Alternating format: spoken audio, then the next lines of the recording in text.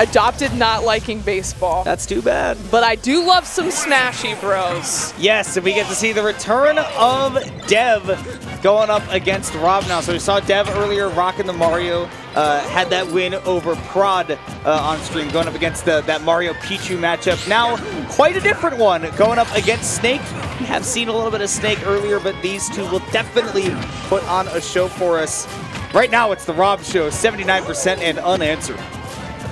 Yeah, I think the best situation for Dev is getting Rob off stage and trying to get a, a, Gimp on Snake, but it just seems like Rob is doing a great job of playing defensively on stage, like we saw earlier with the uh, the other Snake as well, just able to use those grenades to stuff out approaches, able to get that up tilt for the punish, and already killing it 121. Rob with a huge lead here. That's just about as early as that up tilt's going to get a KO. Dev finally got that Snake into the corner, like you said.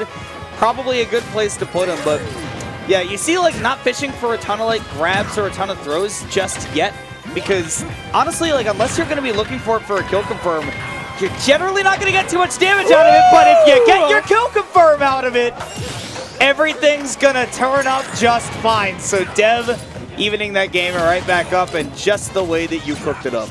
Yeah, Rob shaking that one off. It's going to be a lot easier for Rob to stack up a lot of percent, especially being able to use the grenade, like in situations like that, where you are getting comboed and then the frame one grenade will help get you out of that situation. You're also able to just throw them and you have that projectile, but it seems like Dev's using a lot of fireball as well to kind of use it in the same way. Grenade's going to be a much better tool for Snake, but um, yeah, Rob definitely shaking that one off. It was a great situation for Devin. He did a great job of capitalizing off of it, but now he's going to have to deal with recovering against this Nikita instead. Went into the raw Nikita too, right? Didn't, you know, toss down a grenade or a C4, mortar, or anything. Just immediately went into that Nikita to try to see if, you know, kind of heat check him, right? And say, Dev, are you ready to react to this? And he was. Did make it back to stage, gives him another fighting chance. We're sitting right about at those percents where if you get comboed onto the platform, it can be oh so dangerous. And Dev finding it twice in these first two stocks, taking that snake off the Ooh. top. That is why PS2 is a great stage for Mario. Okay, Cypher coming in clutch there, making it a lot easier for Rob to get back to stage, but I really like that aggressive play there from Dev, trying to take out this third stock super early. Okay, I also really like that we're seeing a lot of roll reads from Rob. I feel like a lot of the time he's running right past Dev, trying to catch a, a panic roll as Snake is approaching. Hasn't been able to find a kill off of it yet, but fit, sitting at 157 just has to find an up tilt or a very near, near getting that like down throw percent as well. Good recognition there from Dev, though.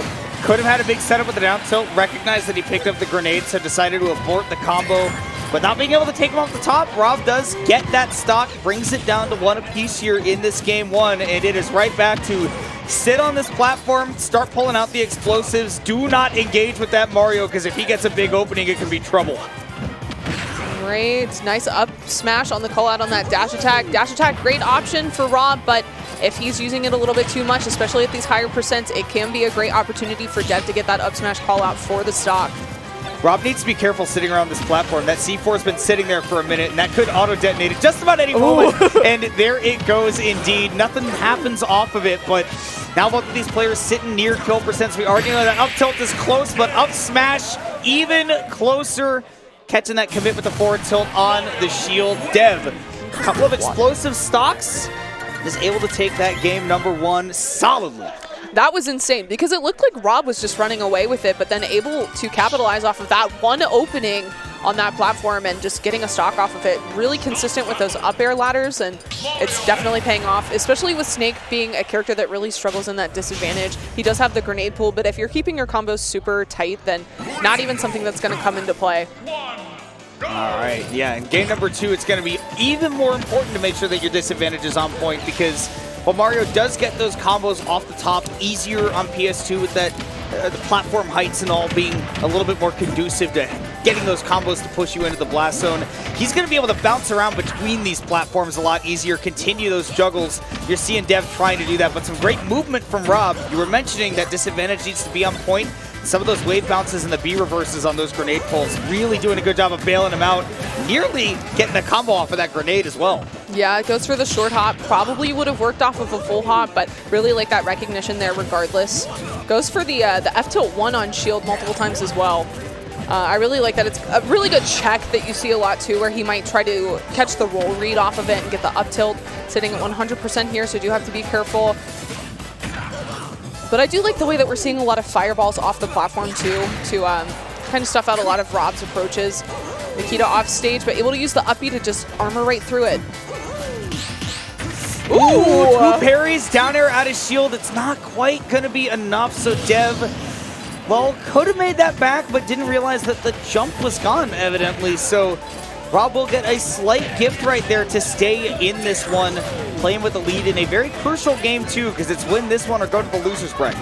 Very clutch angle on that uh, cape as well for Rob, sending him back on stage. Able to get a lot of damage here.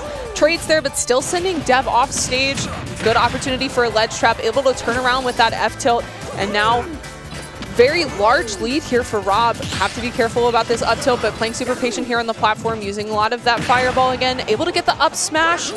Tries to get that up air, er, the uh, the down air, and we saw that it was super clutch in the set that Dev had played earlier, at controlling a lot of space in the air. But it seems like Rob's just super comfortable playing on the ground. I mean, just controlling the game mostly, right? Is that it's not mm-hmm. even about like making big plays or getting away from the Mario. It's just setting up shop on a part of the stage and saying, this belongs to me. And if you want to hit me, you need to be as precise as can be. You need to be an engineer. Ooh. No stick on the C4, and not that it'll matter. Dev takes him off the top with that down air, so he's able to get one on the board here. But yeah, breaking through that snake wall here on small battlefield, counterpick seems to be working out really well because it's been tough for Dev to get in. Seeing a lot of down tilt from Rob as well. Really good opener and combo starter for him, but also just a great way to stuff out a lot of like the landing aerials that we see Dev using for um, combo opportunities. A lot of the time it's down air, which works, but it's also super clutch because of the multi-hits on it, trying to catch Rob dropping shield, and it has worked multiple times, especially on the platforms. Ooh. Ooh. Love that. The slight reposition from Rob, realizing if this Mario full drifts him with an aerial, he's going to go past me. I don't have time to turn around while low profiling him, so I'm just going to pull back a little bit, crawl on the ground, and then immediately go into that launcher, bringing us to game number three. And I heard on that ban list, Hollow Bastion. So we're back to small battlefield for game number three. Okay, I am a PS2er. I'll go to PS2 anytime anybody asks me, but Ooh. I love Small Battlefield because you get to pick the music. And it's it not just Pokemon music. I prefer it. But of all songs to get, why this one? Oh, wait. He, uh, uh, Smash Ultimate. I left my do you like on the game or not? I do, but I've left my Switch on way too long to like hear the song repeating over and over again on the home screen. I'm good. Give I, me some like Donkey Kong Country or something. I think it's really funny how since the game launched, I don't really think anybody's like this. Yeah. and if anybody did, it only lasted a couple months before people were like, "Can we bring back da da da da da da?" My ex had it on his Spotify playlist, so oh I guess gosh. some people do like it, but not the majority. I can see why you broke up. yeah, X for a reason. All right, struggling to make it back to the ledge. Okay, but able to use the up B there, sitting at pretty even percent so far. Okay, able to get that read on the roll with the F tilt. Oh, and that fireball coming in clutch, Ooh. stopping that Nikita. Ideally on these situations, you'd like to be able to do a quick turnaround into an up tilt, but forward tilt directly the other way is going to be a lot easier. You're not going to get the KO out of it, but at this point, you don't need to. One grab is all you need. A down throw on Mario means that you are guaranteed an up tilt, and that is exactly what Rob will find there on that overcommitted aerial. So Rob, as the snake on small battlefield, we've established that is a really big boon to have but Dev has an opportunity to keep this juggle going into a stock so long as he keeps the snake up there, but grenades do get Rob back down. Seems like Rob's kind of building the uh, the Steve wall that we see all the time, putting a mm-hmm. grenade on the ground, putting a grenade on the platform, and then sitting there behind it, underneath the platform. It's going to be very hard to uh, to get in against that without getting blown up. The creeper wall. The creeper wall. Hit this and see what happens. okay, though Dev flying in, did catch that grenade, repositioned it, but now getting repositioned courtesy of those grenades. Rob pushing this Mario right back into the corner, getting some free Ooh. damage, and caught him landing on the platform. Dev was not ready for the combo interruption. Meanwhile, Rob reacting in time, and again playing with a three stock to one lead, which quickly melts down to two to one. But This is going to be tough if Dev does not find a big combo and quick. Okay, seeing a back throw off stage here. Love the use of FLUDD to push him a little bit farther, uh, farther, making it harder to get back to stage.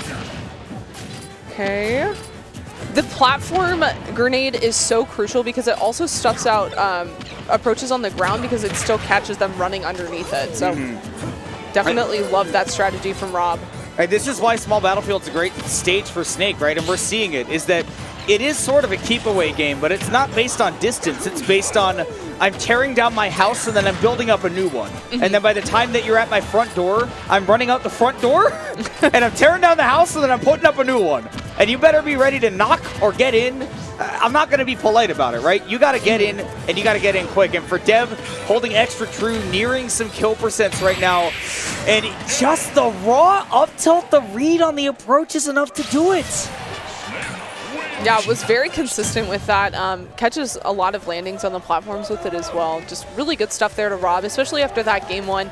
It seemed like he had a great lead that game one and then was uh, able to lose that game just off of Dev's combo potential. So really good job, like slowing things down, building that that house that you're talking about, making it very hard for Dev to find that one opportunity on the platform again. Because when he did, he never missed those those kill chances. So really good stuff to both players. But Rob going to come through with a 2-1.